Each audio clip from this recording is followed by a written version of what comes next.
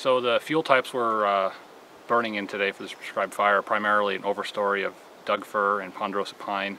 Uh, because the area has gone without fire so long, the uh, Douglas fir are becoming more prominent and uh, we're seeing a lot of vegetation, both Douglas fir and ponderosa pine, um, grow up beneath the bigger trees and kind of fill in the voids in the space between the trees.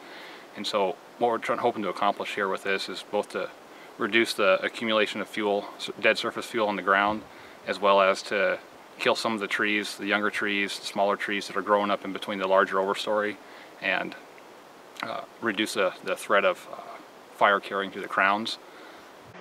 So today's prescribed fire is a hand ignition, and we're using hand ignition because the area is accessible. Uh, we don't have to hike people uh, too far in off the road.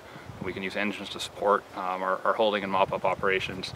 Um, using hand ignition allows us to have finer control, better control over the fire behavior we see, and uh, so we get better results. We have more control.